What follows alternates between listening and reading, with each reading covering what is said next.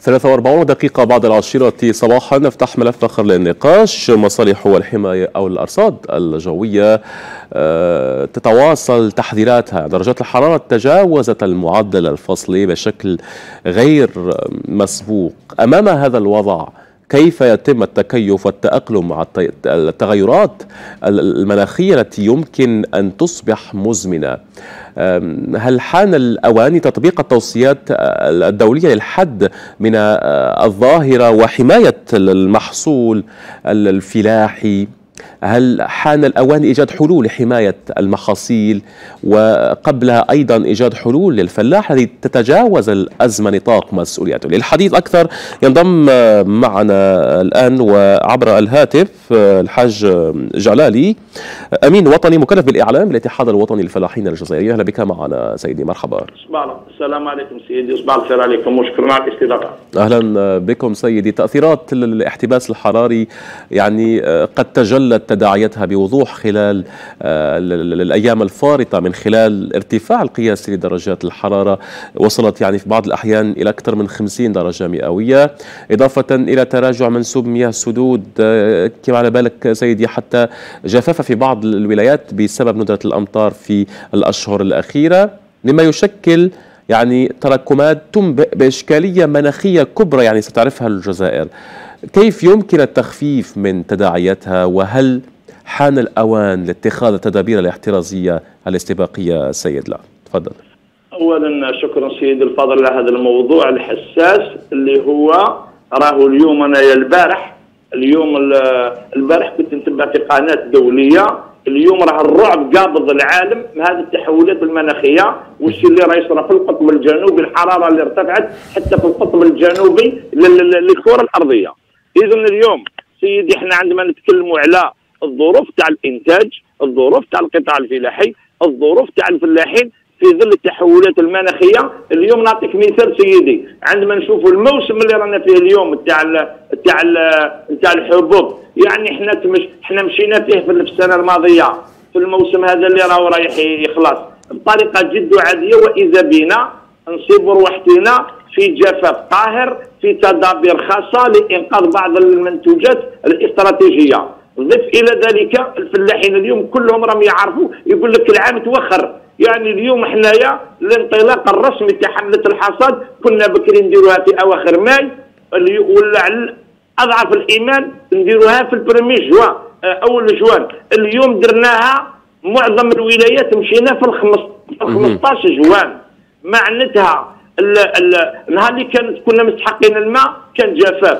النهار اللي ولينا رايحين للحصاد يعني المساحات اللي سقيناها جاتنا أمطار رهيبه اللي وصلت وين؟ نبتت لنا بعض الأعشاب في وسط الزراعة يعني في وسط الحبوب واصبحنا نزيدوا نستناو مدة معينة باش هذاك الحشيش اللي نبت جديد يعاود ييبس لأنه لو كان نحصدوه هكذاك الفلاحين يعرفوا هذه العملية يصبح ذاك المنتوج اللي سقيناه وتعبنا عليه يطلع معاه الحشيش الأخضر يفسد لنا كل يعني إعادة النظر في رزنامة النشاط الفلاحي أصبح حتمية يعني لابد من تصدير استراتيجية فلاحية جديدة يعني وفقا للمتغيرات المناخية وإعادة النظر في هذا الشيء حتى في مواعيد الحرث والبذر والتطعيم والحصاد وغيرها يعني. بارك الله فيك. شوف راك رحت للب الموضوع اللي كنت رايح نقوله وأنا أنت راك قلت جزاك الله خير.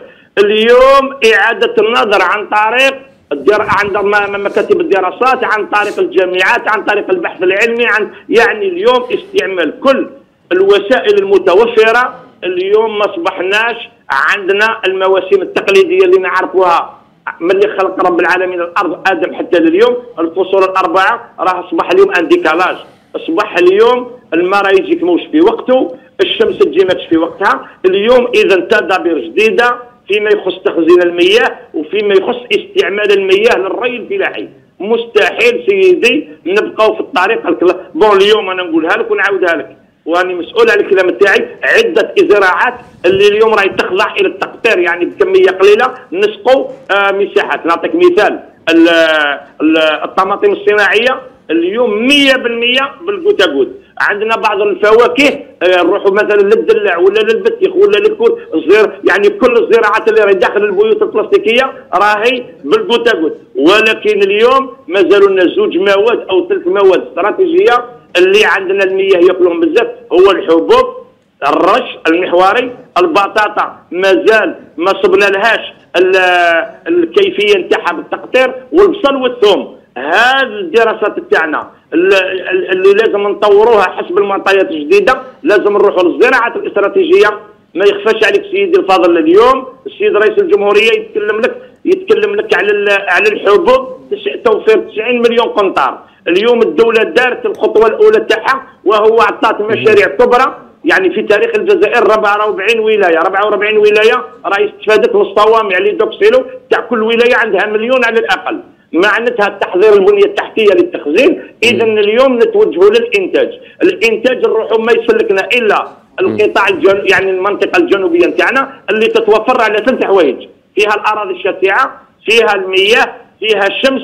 اليوم لابد من توفير أموال ضخمة لأنه هذه الحبوب أصبحنا اليوم ما نقولوش شحال تسوى البارح راهي راهي ناضت حرب عالمية على الحبوب في المنطقة تاع البلقان اللي كاين الحبوب عند روسيا وكاين الحبوب عند عند أوكرانيا ولكن شكون اللي راح يحولها في البواخر؟ نتيجة الوضع الدولي اللي راتب.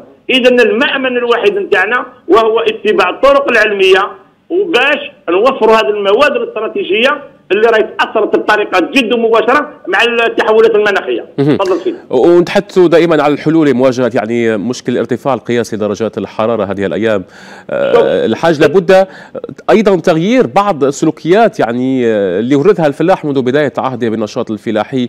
أنا نقول لك السلوكيات كيف؟ راك عايش مع الفلاحين انت اليوم الطماطم الصناعية 53 درجة في عند فلالو البارح.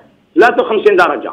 الطماطم الصناعية تنقلها على الربعة ونص وكي تولي ثمانية مساكن يروحوا يرقدوا ويعاودوا يولوا يخدموا على السته تاع العشيه وعلى الخمسه ونص تاع العشيه.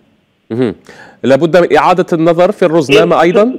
في التواقيت وكذلك راك تكلمت أنت اليوم شح المياه و53 ولا 49 درجة يعني شوف اذا نروحوا للسدود التبخر زاد التبخر زاد لأنه التبخر يمشي مع القوة تاع تاع تاع الحرارة.